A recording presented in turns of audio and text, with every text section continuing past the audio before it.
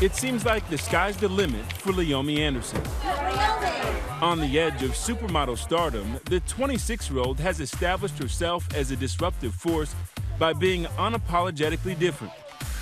She's one of the faces of Rihanna's groundbreaking Fenty makeup line and rocked the runway for Emporio Armani, Tom Ford, and Tommy Hilfiger.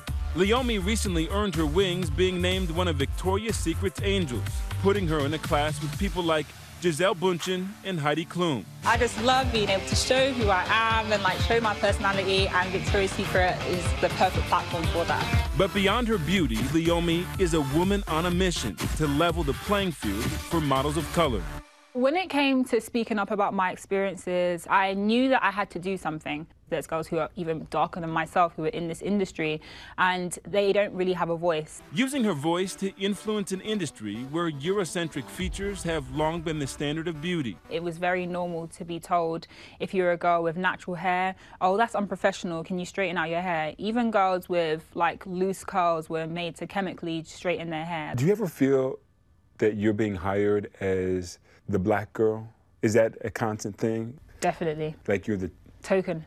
The token. Tokenism is still something that the fashion industry needs to work on. You can see a campaign and there will be an array of different women, but it will still always be a majority white women. I don't like it when I go on set and I'm the only black person, full stop. They believe by hiring a darker skinned black woman or a black woman in general that they are marking off that box of diversity. Leomie grew up in London the daughter of Jamaican parents.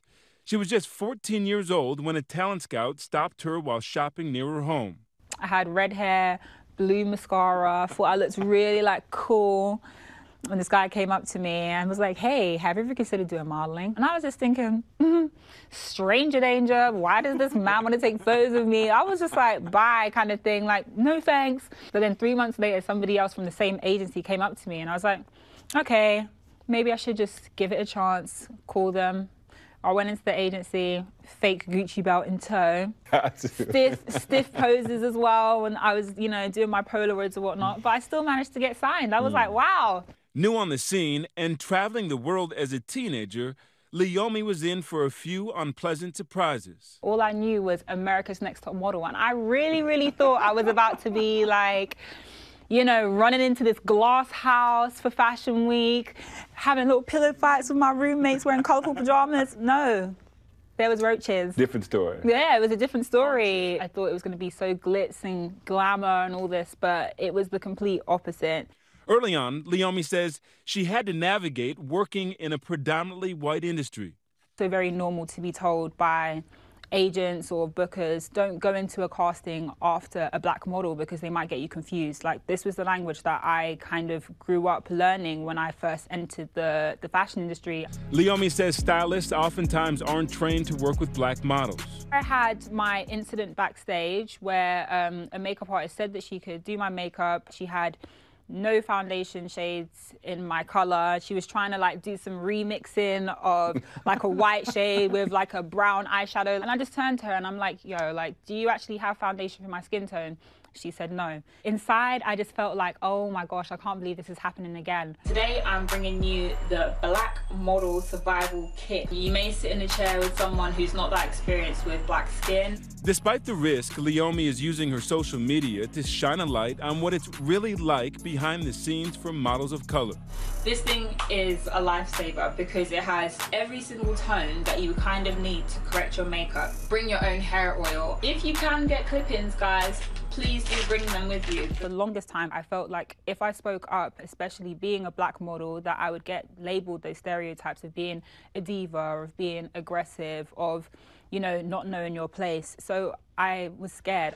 She's really taken her position and her privilege and allowing that beauty to translate into talking about real world issues. I've actually sacrificed so much to be here.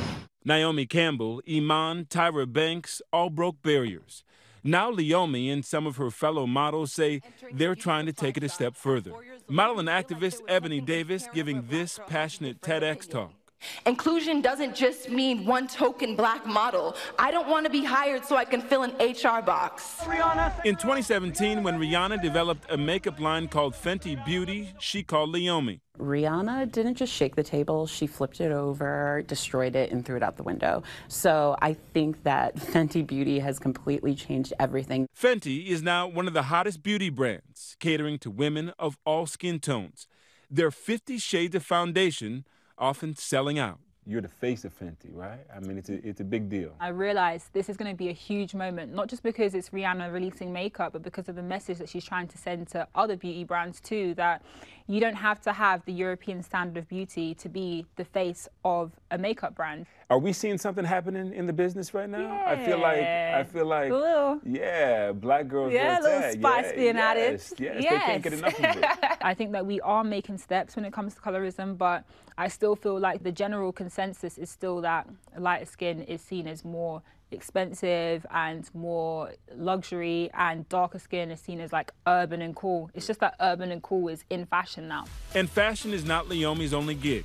She's launched her own blog for women's issues called LAP, which stands for Leomie Anderson, The Project, The Purpose. I wanted to use fashion as a way of speaking to people and talking about important issues such as body diversity. So these are all from the new collection, which we are shooting today before I fly back to London. And a clothing line that Leomie designs, markets, and even steps into model. It isn't just a clothing brand, it's a brand with a real message and a real ethos aimed at celebrating women and women who have something to say that might go against the status quo. Her provocative sweatshirt was worn by Rihanna at the 2017 Women's March in New York. That was such an insane moment for me. It literally sold out within 24 hours. Much more than a pretty face, Leomie has become a bridge for others who need a voice. What do you hope to do for the next generation of uh, models in general, but young black women in particular? Their voice matters and that they are of value. I want people to see me as someone who was unapologetically themselves and